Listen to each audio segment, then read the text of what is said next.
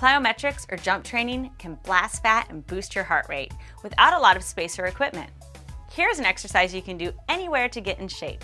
Here's how to do alternating lunges. Begin with your feet hip distance apart.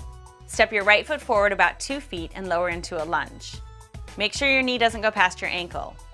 Drive your body off the ground and switch the position of your legs in the air. You should land in a lunge with your left foot forward. Keep alternating sides as you repeat this exercise for 30 to 60 seconds.